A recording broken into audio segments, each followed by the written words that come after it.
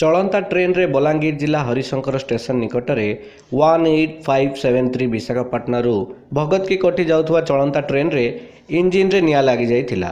ହଠାତ୍ ଏମିତି ଅଗ୍ନିକାଣ୍ଡ ଘଟିଥିବା କୁହାଯାଉଛି। ଟ୍ରେନ୍ ଅଟକିବା ପରେ ସମସ୍ତ ଯାତ୍ରୀ ଭୟାବହ ହୋଇ ଟ୍ରେନ୍ରୁ ଓହ୍ଲାଇ ପଡ଼ିଥିଲେ।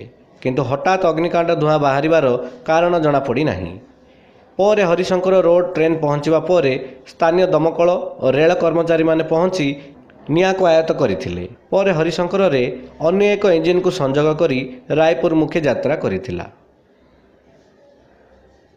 ବଲାଙ୍ଗୀର ଜିଲ୍ଲା ହରିଶଙ୍କରରୁ ଦୀପକ କୁମାର ପାଣିଗ୍ରାହୀଙ୍କ ରିପୋର୍ଟ। ଉତ୍କଳ ଖବର।